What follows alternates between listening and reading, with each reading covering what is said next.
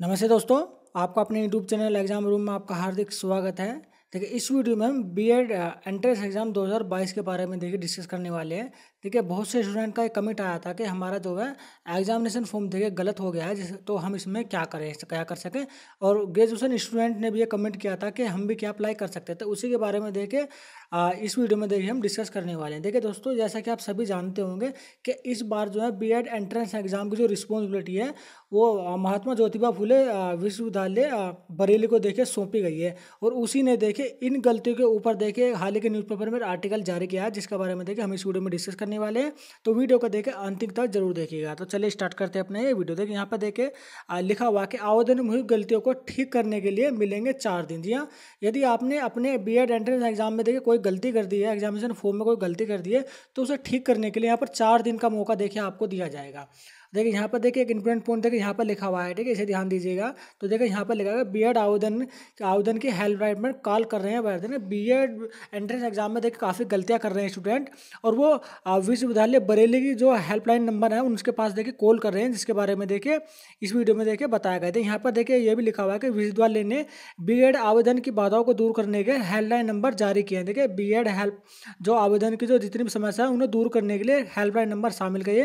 राज्य स्तरीय हेल्पलाइन और स्थानीय नंबर जारी किए गए। मंगलवार को देखे पचास से अधिक देखे कॉल आए हैं और स्टूडेंट ने क्वेश्चन किए हैं कि वो पहचान पत्र में देखे यानी कि कौन सी आईडी लगाएँ, पहचान पत्र लगाएँ, या स्नातक या प्रस्नातक के लिए देखिए कौन से अंक भरे, और बच्चा बी एड देखिए कितने वर्ष का होगा। तो बी एड तो देखिए दो वर्ष का ही होगा, ठीक है? और देखिए आगे देखिए एक इंपोर्टेंट पॉइंट तो यहाँ पर यहाँ पर लिखा हुआ देखे देखिए इसमें लिखा हुआ कि स्नातक अंतिम वर्ष के प्रचार्थी भी कर सकते हैं आवेदन। के ग्रेजुएशन फाइनल ईयर के स्टूडेंट जो है ना, वो भी देखे इस बार देखे बी एड एंट्रेंस एग्ज़ाम में देखे एग्जामिनेशन फॉर्म देखे भर सकते हैं, ठीक है? एग्ज़ाम फॉर्म वो भर सकते हैं, वो इलिजिबल माने जाएँगे। जो इस बार के देखे फाइनल ईयर के स्टूडेंट हैं तो देखिए, इसमें देखिए मेन पॉइंट यहाँ पर लिखा हुआ है, इसे पढ़ लेते हैं। अरे जो न्यूज़ है ना, देखिए बरेली से निकल कर आई है, ठीक है? बरेली इसमें लिखा है कि रुबेलखंड विश्वविद्यालय ने अपने महत्वपूर्ण निर्देशों में कहा है कि बी प्रवेश परीक्षा फॉर्म भरने में यदि विद्यार्थी से कोई त्रुटि यानी गलती हुई है तो उसे ठीक करने किया जा सकता है।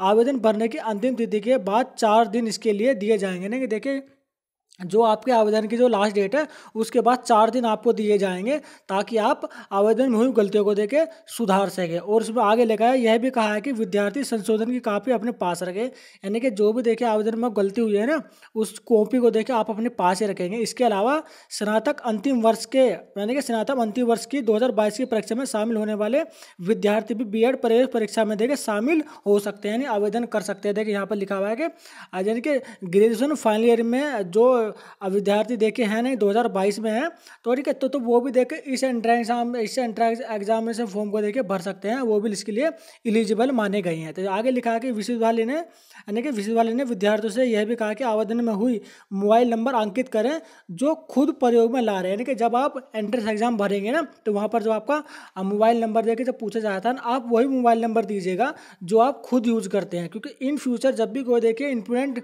सूचना देके यूनिवर्सिटी के द्वारा एंट्रेंस एग्ज़ाम से रिलेटेड को जारी की जाएगी तो मोबाइल नंबर पर एक मैसेज आएगा जिसके थ्रू आपको ये बता दिया जाएगा। और उसमें आगे लिखा क्योंकि देखिए विश्वविद्यालय भविष्य में कोई भी जानकारी मोबाइल नंबर मैसेज के माध्यम से ही देगा। बिल्कुल सही देखिए भविष्य में कोई भी से रिलेटेड कोई जानकारी होगी तो मोबाइल नंबर के माध्यम से देगा। और साथ ही ईमेल आईडी भी विद्यार्थी अपनी अंकित करे। देखिए ईमेल आईडी भी आपको अपनी भरनी है। आप जब साइबर साइबर कैफ़े में फॉर्म भरवाने जाते हैं तो साइबर कैफ़े वाले क्या करते हैं, अपनी ईमेल आईडी भर देते हैं या फिर कोई और सी ईमेल आईडी भर भर देते हैं। और जो यूनिवर्सिटी द्वारा जो कोई भी देखे एंट्रेंस एग्ज़ाम से रिलेटेड कोई इन्फॉर्मेशन जारी होते हैं ना तो वो आपको नहीं मिल पाती है। तो आप अपना मोबाइल नंबर वही अंकित कीजिएगा, जो आप खुद ड्राइव करते हैं, तथा ईमेल आईडी भी वही आप दीजिएगा, जो आप खुद ड्राइव करते हैं। और इसमें आगे लिखा है किसी अन्य व्यक्ति की ईमेल आईडी ना भर दे, किसी भी अन्य व्यक्ति की ईमेल आईडी नहीं भर रही है आपने ठीक है? आवश्यक पड़ने पर ईमेल सही देखिए विद्यार्थियों को सूचित किया जा सकेगा।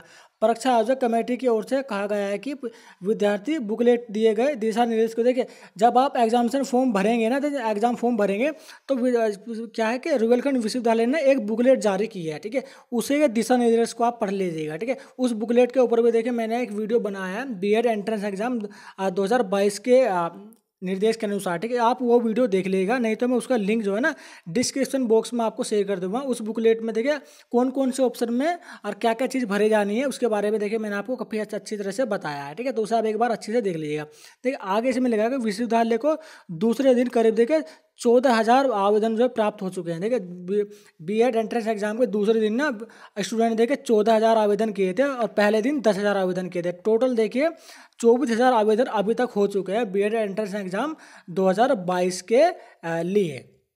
तो दोस्तों, इस वीडियो में केवल इतना ही देखिए हमारे द्वारा दी गई ये इन्फॉर्मेशन यदि आपको अच्छी लगे। आपको लगता हो कि इस वीडियो के माध्यम से आपके देखिए थोड़ी सी भी हेल्प हुई है तो हमारे इस वीडियो को लाइक तथा अपने दोस्तों के साथ इस वीडियो को देखिए शेयर ज़रूर कर दीजिएगा, ताकि उन्हें भी पता चल जाए कि रुबेलखंड विश्वविद्यालय बरेल ने एक इंडिपेंडेंट नोटिस जारी किया है ग्रेजुएशन फाइनल कैंडिडेट के लिए।